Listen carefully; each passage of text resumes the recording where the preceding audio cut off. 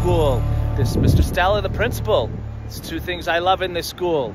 Telling dad jokes and making videos for our YouTube channel. I'm gonna make a couple of videos for the first couple of days of school for our students and our parents. Hopefully this will help you with our arrival and dismissal procedures for those first couple of days of school. So let's take a walk around the building. Okay, here we are on Poppy Avenue. Um, our first two days of school for students in grades kindergarten through second grade. Uh, parents, you should have seen the letter. We're going to do an outdoor lineup, weather permitting, of course. Um, we'll have cones um, sectioned off by our teacher names on our small field. Um, you'll walk with your child onto the small field. You'll help them find their teacher and their cone, and they'll line up, and our teachers will come outside to meet their classes for those first two days of school. Let's take a walk to the small field. If you don't know, we are the Washington Street School Wildcats. In our school, we like to say, we learn, we care, we are Washington Street School. Okay, here we are on our back field. This is the back of the school. We call this our small field.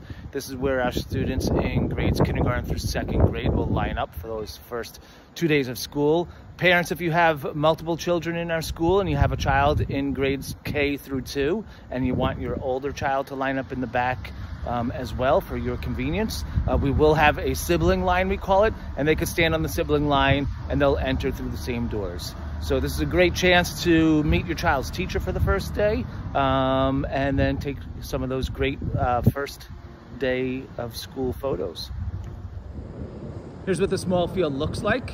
Uh, for our parents whose children will be taking the bus, um, our bus students, our buses arrive down Poppy Avenue. You can see the cones over there. Um, those double gates open up. We'll have an adult meet your child at the door of the bus and lead that entire bus line through the sidewalk and into the doors back here if you can make them out and they'll go directly into our cafeteria. They'll line up by uh, their bus number and then there'll be adults to walk them to their classrooms. I'm excited to show this little piece of brand new blacktop. It was just completed today. Um, this is also in the back of our school near our playground um, the PTA has uh, donated four outdoor picnic tables, which we'll place on this area. And we'll also incorporate some, um, some kind of chalk games out here for recess. And we'll use those picnic tables for uh, as an outdoor learning environment. I'm very excited for it. Thank you to our PTA.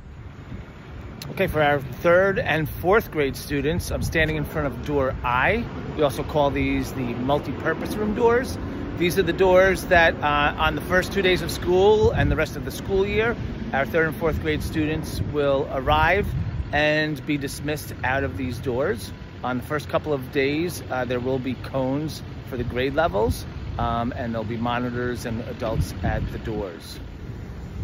For our fifth and sixth grade uh, students, this is the main entrance. Our fifth and sixth grade students will um, arrive and dismiss through these doors the entire school year. Again, on the first two days of school, we will have cones outside uh, for a fifth grade line and a sixth grade line. A little public service announcement here. Don't forget to join the Washington Street School PTA. Mrs. Devotee is our PTA president. We have a lot of great things in store for this school year working with our PTA. Dismissal doors. I'm standing in front of door B, this is our dismissal door for kindergarten. So our first two days of school and the entire school year, um, our kindergarten students will be dismissed through door B. This is what door B looks like from Poppy Avenue. Um, our kindergarten teachers will walk their classes out to this yellow line. They'll line up by class for dismissal. And we have a second yellow line over here I'll ask our parents and anyone that's picking up a child from kindergarten to stand behind these yellow lines and we'll try to make our dismissal as orderly as possible. Okay, I'm now in front of door C. This is the door that we use for dismissal for our first grade students. And this is also the door that we use for arrival and dismissal for our pre-K students. Pre-K students arrival time is uh, 8.55 and dismissal time is 2.45. This is door C from Poppy Avenue.